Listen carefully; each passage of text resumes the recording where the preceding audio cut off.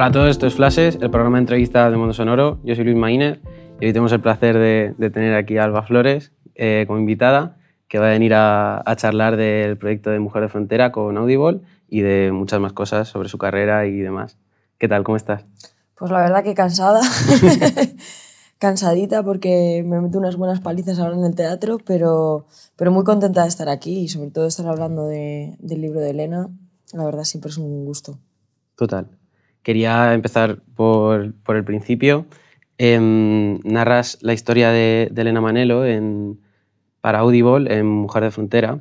Y, y bueno, eh, para quien no lo sepa, es eh, una, una, historia preciosa, muy dura, pero muy bonita de, de, experienciar, nunca mejor dicho, al ser un audiolibro, de una mujer que hace em, casi 20 años decide vivir el, a ver si lo digo bien, vivir el drama de la, de la inmigración eh, en primera línea y, y, a trabajar muchísimo con todas las con todas las personas migrantes que... Sí, Elena se fue a, Elena se fue a, Tánger para trabajar en una ONG, eh, ayudando a las personas migrantes ¿no? a mejorar sus condiciones de vida y, y bueno, acabó siendo la persona que, ahora mismo llama a la Guardia Costera cuando alguna patera se, se pierde en el mar, ¿no?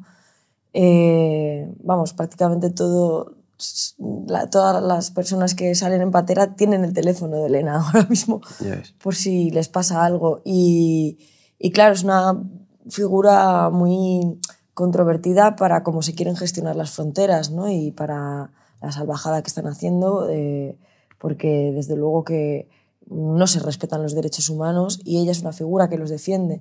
Entonces luego ella vive toda una persecución a su propia persona, ¿no? donde se le acusaba el gobierno de España, envió un dossier al gobierno de Marruecos y se le acusaba de, bueno, de traficar con personas y poco más que de casi de asesinato, ¿no? por algunas de las que se habían perdido en el mar. Entonces, bueno, pedían para ella cadena perpetua y cuenta su historia y también paralelamente cuenta a esa historia ¿no? de persecución, cuenta cómo, cómo las historias de, los, de las personas migrantes a ella la van ayudando, ¿no? todo lo que ha vivido la va ayudando a tener em, recursos para hacerle frente ¿no? a lo que le toca vivir en primera persona. Parece interesante esto porque eh, también tuve la impresión de que era una historia que se podía ver eh, como en cuanto a intrahistoria y en cuanto a, en cuanto a historia general. Completamente.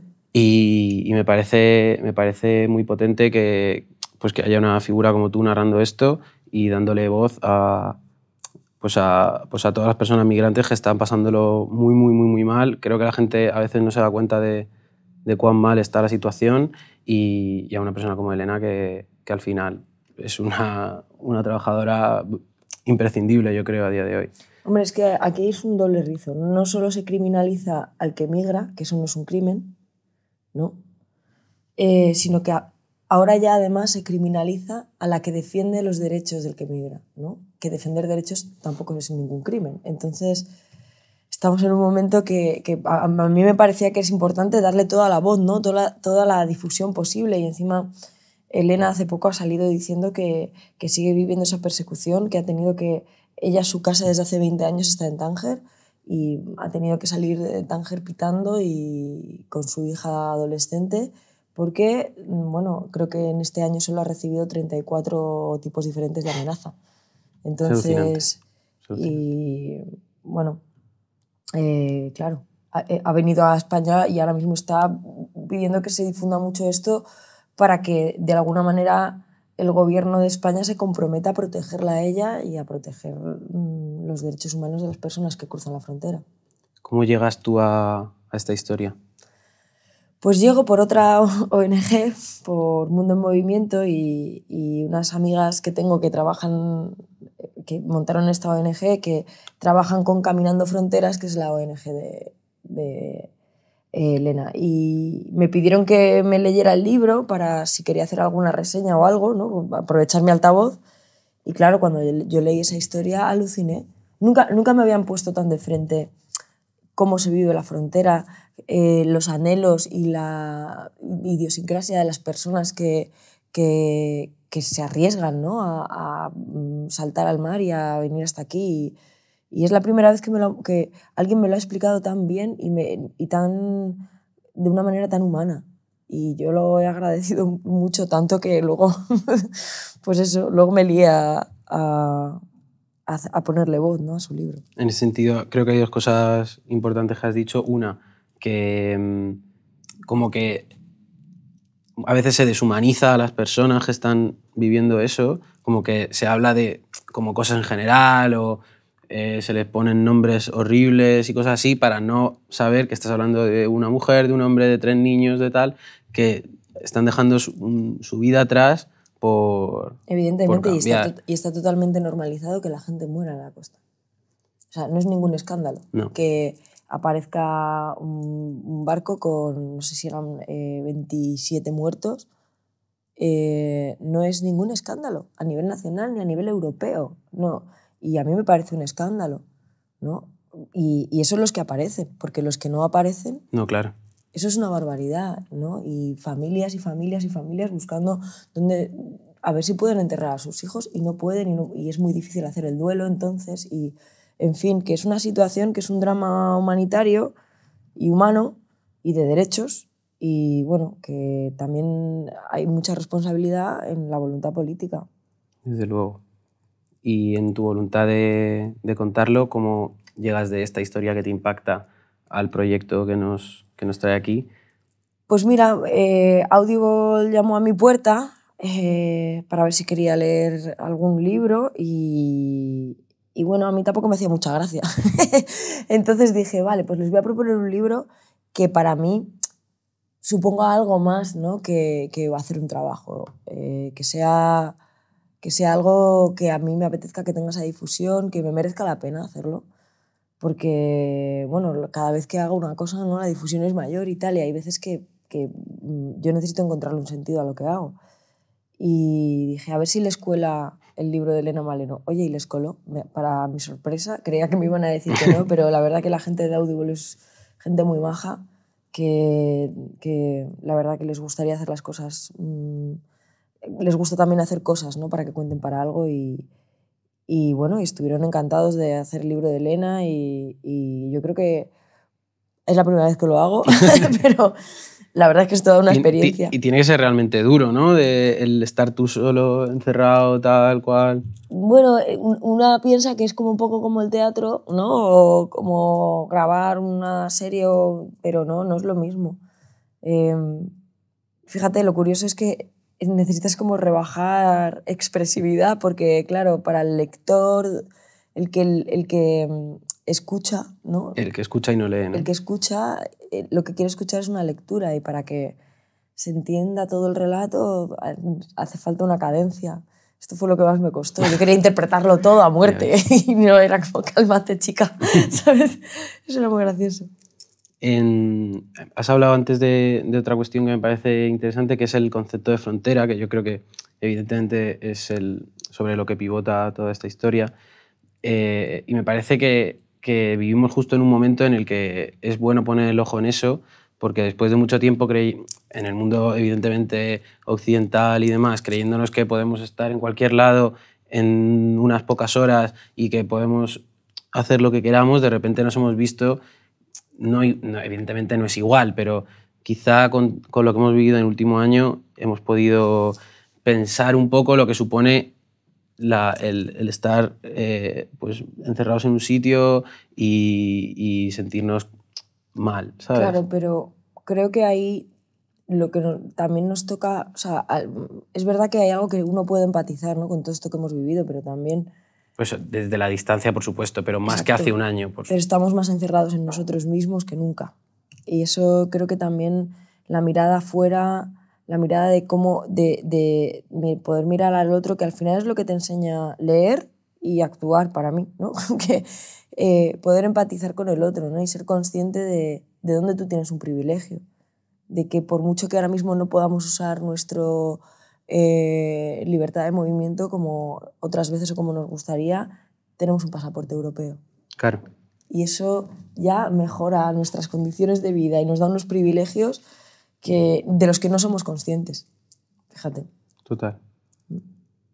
Eh, me parece también curioso, pasando un poco al, al plano tuyo profesional, eh, que en este momento des el salto a, a, narrar, cuando, cuando es algo que... Mm, a narrar con tu voz, que es algo que, que quizá cuando el público medio se pone delante de, un, de, una serie, de una película, de una obra de teatro, el teatro quizá menos, pero sobre todo de, de, de lo que viene intervenido por pantallas, est estamos ya como muy, muy, muy centrados en, en la imagen y ahí desenganchamos un poco la parte sonora, valga la redundancia por estar aquí, de la experiencia.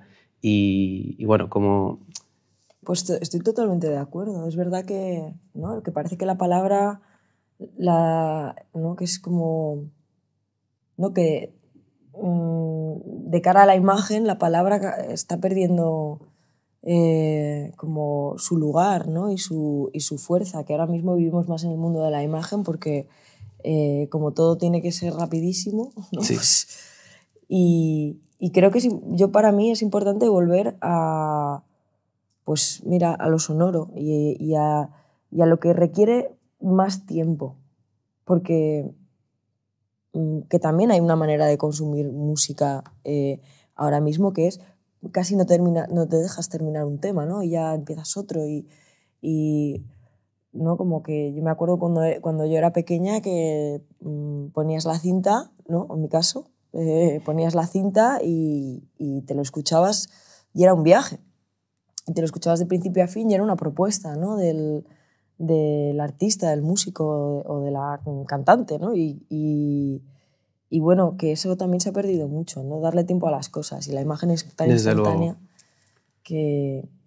Pero yo creo que es... Mmm, bueno, todavía hay una resistencia. ¿no? Sí, y creo que ahora, que... afortunadamente, por mirar al, algún aspecto positivo de la evolución que ha tenido todo el contenido en, en, los últimos tiempos, el formato audio, ya sea un podcast, ya sea un audiolibro como este, eh, está ganando fuerza y me parece bonito porque mucha gente que, que yo creo que llevaba sin contarse historias mucho tiempo ha empezado a escucharlas y, y gente se ha propuesto, como tú, contarlas oralmente, que es como se han transmitido las historias Mm. durante, durante miles de años. Y... Sí, hay una, eh, a mí me gusta mucho Úrsula K. Le Guin, que es una escritora Sí. de ciencia ficción, y en uno de, las, de los escritos que tiene así como de ensayo dice que la literatura oral también es literatura. Claro. Y me- me- a mí cuando lo, me lo leí me, me gustó mucho porque pienso que el teatro, por ejemplo, también tiene mucho de eso, ¿no? de literatura oral, de que, de que no solo es valiosa la palabra escrita, sino también la palabra eh, transmitida oralmente. Y eso me parece, me daba, me daba Claro. punch para hacer lo que hago, claro. Hay también un montón de, de teorías paranoias eh, acerca de esto, de cómo, la, nos, cómo nos la cargamos eh, cuando pasamos de la oralidad a la escritura y cosas así, de cómo perdimos memoria, cómo perdimos un montón de capacidades y ha- había, bueno, hablaban, ciertos autores hablaban como de esta, de esta cosa, ¿no? De que todo lo bueno que nos dio también nos lo quitó. Y Yo creo que la memoria oral al final se te queda eh, de una manera diferente que, que todo lo que leemos o lo que vemos. Pero bueno, también es importante ¿no? la, la reflexión que se hace al leer. Entonces es una combinación. De momento no podemos tener todo, ¿no? que eso es lo, la combinación de todo. ¿no? Yo creo que además a- ahora es un momento en el que, no sé, me parece que todo va muy rápido y, y que mm, parar a escuchar historias y a, o a leerlas es, un, mm, es una buena idea. Y es un poco como contramano de, de todo, ¿no? Y también cuando te paras y las cosas siguen, pues ves distintos ángulos de las cosas y, y demás. Desde luego. Em, también a la vez que has, que has lanzado este proyecto, este audiolibro, eh, lo has acompañado del lanzamiento de, de una canción. Ah, bueno, sí. No, o sea, ha, si- ha sido casualidad. ¿Ha sido casualidad? Ha sido casualidad, sí, sí, ha sido casualidad y además se llaman parecido y es casualidad, pero de hecho ya lo fui yo avisando como a algunos y a otros como, oye, que voy a leer un libro que se llama Mujer de Frontera y he hecho una canción que se llama Mujer Frontera. Eh, pero sí, la canción con Clara Pella y con Ana Tijoux, que es una composición de Clara y que nos invitó a participar. Y bueno, eh, en otro momento habría dicho que no, pero me pilló, no sé cómo me pilló, que, que la verdad que mm, también por, por cómo era el tema y, y, porque rápidamente yo hice una analogía entre esa canción y, y, y, luego una causa, que es la de las jornaleras en lucha, que es a la que ligamos la canción, eh, pues me, me, me, dieron muchas ganas. Como ya te digo, que he pasado una época que sentía que si me movía, que fuese por algo que no me importara. Me, sí. me parecía, vamos, cuando he estado pensando en, pues en, el, en, todo el, en, todo este trabajo que estás haciendo y demás, eh, me parecía interesante cómo eh, de forma literal y de forma metafórica llegas a un momento en tu carrera, por lo menos así lo he interpretado yo, que decides poner voz a, a las cosas que te importan. Eh, ya sea eh, tu voz como figura, pero también tu voz real cantando y, y, narrando. Es verdad, no lo había pensado así, pero sí, ¿no? es como que me, me toca ahora hablar más con mi propia voz. También es un, un privilegio de estar ahora mismo en el lugar donde estoy a nivel profesional ¿no? y a nivel, quiero decir, que me puedo permitir elegir lo que quiero hacer. Y eso oh, en mi profesión ya. no es eh, lo normal. ¿No? Eh, quiero decir, los actores y las actrices están súper precarizadas y precarizados y tienen que aceptar el papel que les venga ¿no? y a veces eh, casi cada vez más, y esto como estáis todo el día con músicos también pasa mucho, que quieren pagarte con el aplauso, ¿no? Sí. Y es como, bueno, y con, y con, y con la difusión. Y es Claro. como, bueno, pero estoy haciendo aquí un trabajo, ¿no? Así que yo soy una privilegiada y precisamente dentro de ese privilegio pienso, porque a mí lo que me interesa es eh, un poco eh, las causas, me llegan mucho al, cora no sé, al corazón y al organismo y, y, y, me sale involucrarme, ¿no? Pero, pero creo que para cualquier otra persona que estuviese en mi posición es como un, un momento bueno para decir, bueno, ¿y a mí qué me interesa, ¿no? ¿Qué es lo que yo quiero hacer o qué tipo de artista, qué tipo de propuesta, ¿no? En, en ese sentido, eh, es evidente que, no solo estás en un momento en el que, quieres ponerle voz a, o en el que le estás poniendo voz a las cosas, sino que me parece que la otra, rama o la, otra parte que yo he podido como entrever de tu trabajo reciente es como eh, toda, toda una visión social muy clara que también se desarrolla en la obra de teatro que acabas de, de empezar a representar, Shock 2. Y, y me, como que de repente, no, no, me pasa siempre cuando, cuando entro a, en el mundo de alguien artístico, pero de repente como vi muy claro, o creí ver muy claro cómo iba la, cómo, cómo estaba... ¿Cómo voy decidiendo? Claro, ¿no? cómo ibas decidiendo. sí, la verdad que tampoco tiene mucho misterio, pero, porque es verdad que últimamente eh, para mí tiene mucho peso poder hablar de los temas que a mí me interesan mmm, socialmente, políticamente y, humanamente, ¿no? Y, ahora mismo esos temas tienen mucho que ver con poder mmm, hacer crítica desde diferentes perspectivas del sistema en el que vivimos, porque creo que es muy mejorable. Y, y que también estamos en un momento en el que, o por lo menos lo que yo siento y lo que me va llegando de lo que leo, lo que puedo tal, es que la, no podemos seguir durante mucho más tiempo como estamos ahora, ¿no? Y como, como con esta manera de, de, organizarnos como civilización sin que nos deterioremos muchísimo. Entonces, eh, bueno, a mí esto me preocupa. y, y, y no sé si con la voluntad de cambiar el mundo, eso seguramente cuando era más pequeñica y más joven sí que, sí que tenía esa, esas ganas, ¿no? Ahora me, ahora es más, tiene más que ver con tejer redes de resistencia. Es un poco lo que, a, a lo que me gustaría alimentar, ¿no? Y, si pudieras como desarrollar un poco... Sí, sí, pues tejer redes de resistencia en el sentido de, de eh, bueno, por ejemplo, aquí en Madrid ahora mismo, ¿no? Mm, pues eh, ha ganado una ideología, ¿no? Que gobierna la Comunidad de Madrid que, bueno, que a mí me parece que ha, que ha hecho estragos durante la pandemia y que ha, ha, hecho estragos durante 26 años que llevan aquí gobernando, ¿no? Mm, como ante eso, pues dices, eh, ¿qué sentido tiene hacer una obra de teatro donde estamos haciendo crítica a ese sistema conservador y neoliberal y donde viene, o sea, ¿tiene sentido? ¿no? Es lo que yo me pregunto, ¿tiene sentido estar haciendo esto? Si mira, si es que no son, o sea, siguen ganando, ¿no? Y la respuesta es que sí. Y, y, no porque se vaya a cambiar nada inmediatamente, pero bueno, eh, creo que es importante y, mm, seguir eh, juntando a las personas, que el teatro es un lugar donde la gente se junta, donde la gente eh, piensa en común, vive las cosas en común y es importante seguir tejiendo esos espacios de resistencia comunitaria, porque son, es de los pocos antídotos que se me ocurren para, para unas políticas tan, tan individualistas, tan, eh, pues eso, eh, el vivo al bollo y el muerto al hoyo.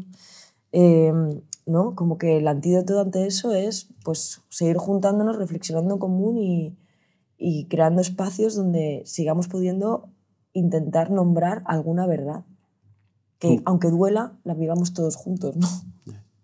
creo que, que, como respuesta un poco a si merece la pena, yo creo que, que sí, porque eh, el teatro, por lo menos en cuanto al teatro, a día de hoy es un, es un medio, vamos, es una disciplina que, que, la gente está apostando por ella y, y, mientras que por desgracia la, yo que sé, el cine, por ejemplo, le, está, le ha costado más volver después de este parón y demás, el teatro sí que ha encontrado otra vez como la gente entregada y, y, deseosa de revivir esa experiencia quizá de comunidad o de, o de red grupal. sí, y aparte que el teatro todavía, como no es, negocio, no es un gran negocio para nadie, eh, todavía eh, tiene mucha libertad para, para mm, poder reflexionar, decir, eh, bueno, pues lo que uno quiera con, o lo que una quiera con, con, mucha, con mucha manga ancha, ¿no? Y en la televisión y en el cine, mm, sobre todo en la televisión, es más difícil porque hay, siempre hay unos intereses económicos muy heavy en medio y es más difícil poder arriesgar a decir cosas que incomoden o cosas que... Em, bueno, o cosas que vayan en contra de quien paga la cuenta.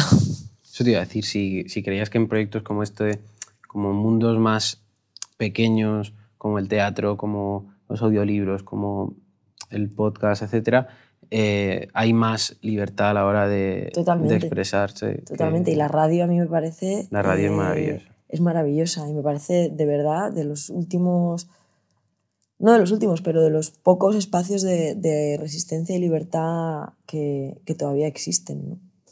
Y sí, sí que creo que, bueno, eso, que es difícil, por ejemplo, en la cultura de masas, poder proponer algo que haga reflexionar, haga pensar y que desafíe eh, a los grandes poderes. Que realmente sea retador y no como, en, como parte de la, la parte justa de rebeldía, ¿no? Para ser atractivo. Que, es están, algo que, están vendiendo rebeldía, ¿no? Que es algo que... Mira esto y siéntete muy rebelde. Claro, claro, pero como súper controlado, ¿sabes? Como una demolición controlada eso es una cosa que, creo que se da demasiado, ¿sabes? Y, y, el público a veces entra, a veces no, pero desde luego, pues los, las grandes creaciones con mucha pasta dentro y demás sí que, sí que juega muchísimo a eso, por desgracia. Bueno, claro, es que es el, este sistema capitalista, ¿no? Si algo sabe hacer es coger, coger, coger lo que sea y, y volvértelo a vender.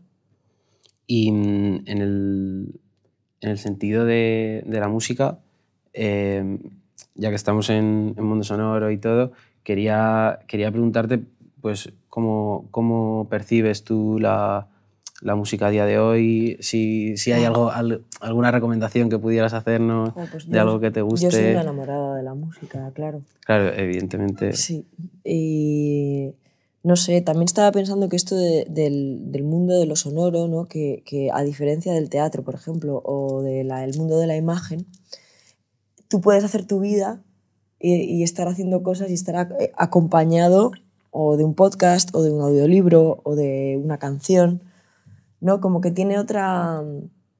Tiene otra...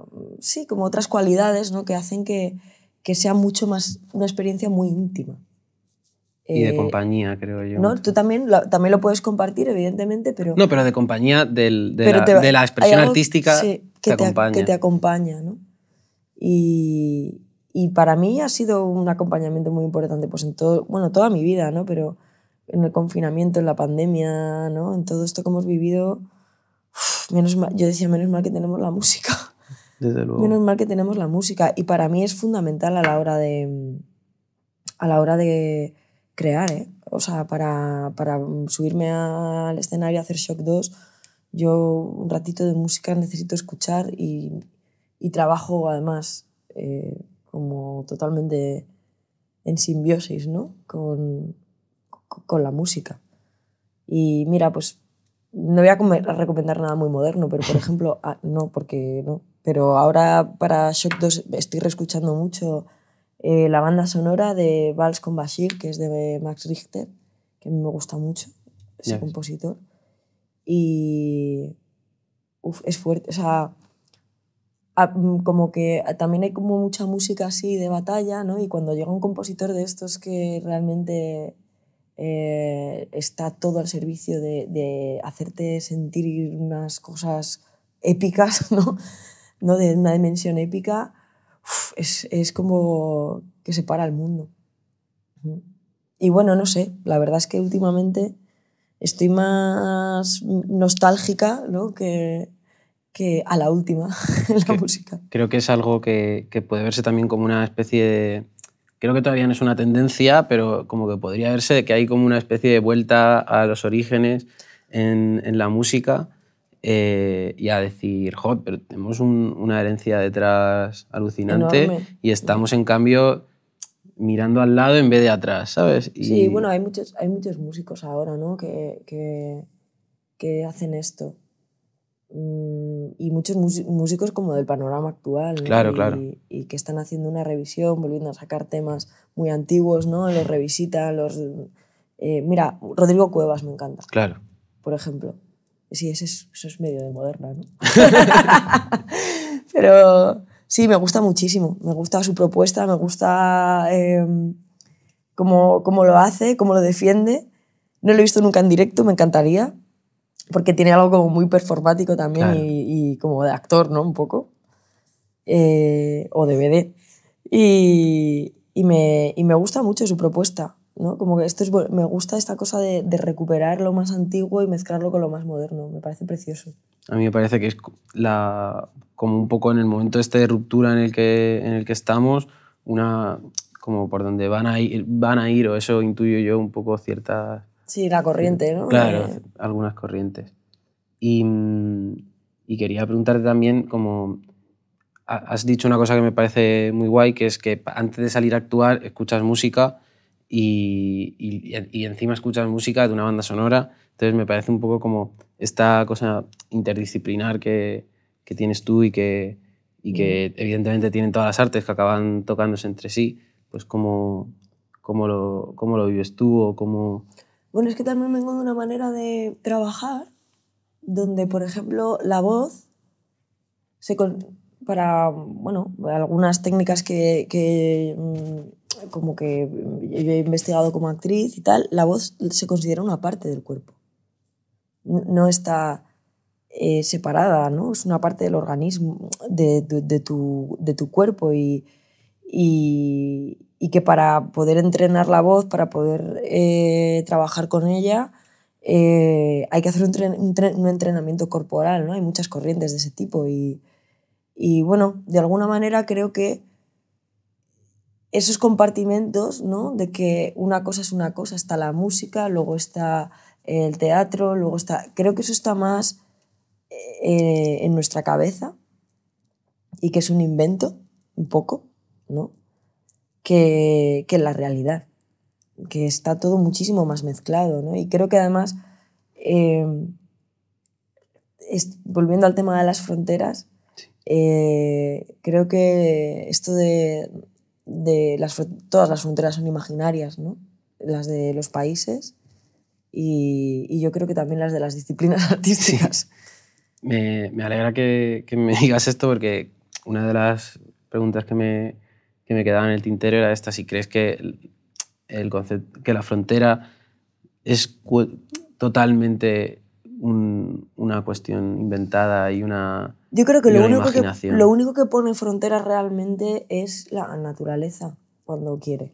O ¿no? una frontera entendida como límite tal, es la naturaleza cuando quiere. O sea, donde, donde hay un río hay un río, donde hay un mar hay un mar y donde hay una montaña hay una montaña, ¿no? Pero, pero y bueno, eh, hay, que, hay que aprender a lidiar con eso, pero mm, también creo que, que mm, precisamente, ¿no? Si lo que, mm, lo que nos podría caracterizar como especie es tender puentes.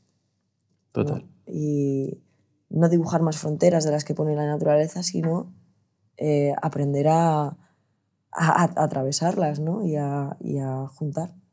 Y creo que por darle un, un este completo a la situación, creo que el arte es la mejor, una, no, no sé la mejor manera, pero desde luego una manera muy bonita y muy, y muy útil cuando, cuando se consigue de tender esos puentes y, Sí. de, y de crear esa, esa unión con, con personas que en otro momento a lo mejor te, no te parabas a pensar en ellas, pero de repente escuchas algo y dices, esta chica está cantándome desde la otra parte del mundo, que ha vivido una, me está contando su historia y todo, viene... Sí, y dentro del arte, la verdad que la música, es verdad que todo lo musical ¿no? llega directo a un lugar que, eh, bueno, que igual la palabra y todo, ¿no? el teatro, hace falta más como un mundo de conceptos. Tiene ¿no? la barre- Pero- y la barrera del idioma a veces. Pero a veces parece ¿no? que como que del oído te llega directo al corazón, ¿no? sin pasar por el cerebro. Y eso, es, eso a mí me parece que te- es una cualidad preciosa que tiene el mundo de lo sonoro y de la música. Total. Y, y bueno, por, por ir terminando, eh, quería preguntarte como, cuáles eran tus primeros recuerdos de, de lo sonoro, de lo musical o de la radio, de tal, eh, porque era una cosa que me llamaba la atención. Wow. Ay, no sé. Es súper difícil saber esto. Mira, me viene un recuerdo muy bonito que como yo he sido una niña de backstage, porque claro, cuando mi, mi familia, mi familia trabajaban, pues a mí me llamaban a todos los lados.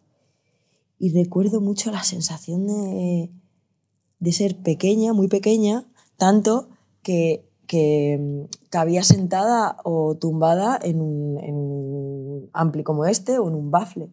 Y recuerdo mucho la, que, como que me sentaran ahí, ¿no? De pequeña, para, para ver algún concierto desde la parte de atrás y como esa sensación como de vibración por todo el cuerpo, ¿no? Del sonido del bafle. eh, me parece como algo, o sea, como un recuerdo que tengo mucho de la infancia y que me da como gusto, ¿no? Y que siempre que voy a un concierto pienso, como quién estará en el backstage, ¿no? ¿Quién estará su que ahí es donde se, donde se siente la cosa. Qué bonito. Pero sí, un poco eso. Y también, bueno, lo que todos, ¿no? Un poco la radio por la mañana de tu abuela cuando se levanta y se pone la radio, ¿no? Estas cosas que, son muy compartidas, ¿no? Por una generación. Qué bonito, la verdad. Mm. Pues como hemos cerra- cerrado muy bonito, solo quería preguntarte más si, si te ha gustado la experiencia de, de trabajar con la voz para, para narrar esta historia, si te has si tienes idea de volver a, Sí a que, ello. sí, sí que me ha gustado, la verdad que lo volvería a hacer, ha sido muy divertido. También mm, como que creo que es todo un mundo por explorar, ¿no? Y, y me, me, me venía mucho en la cabeza una época que se hacía mucho teatro en la radio. Eso también me parecía súper interesante. Mm. Como que de repente es algo que se ha dejado de, de hacer y creo que, que se podría... Las sí. radionovelas. Sí, sí. que, Y más allá, y, buen- y muchas piezas. Bertolt Brecht, que, que a mí me apasiona, tiene muchas eh, radio obras de teatro y, y, y con un contenido muy, bueno, muy político y muy, y muy también de poner a pensar, ¿no? Con pensamiento crítico. Y creo que es una herramienta más potente de la que... Bueno, al fin, está el se está caso este de... total, total. El caso este que, de la guerra de los mundos, eh, que, la gente se volvió loca y todo. Por ejemplo. Es un- una demostración de, lo- de la fuerza del sonido y de...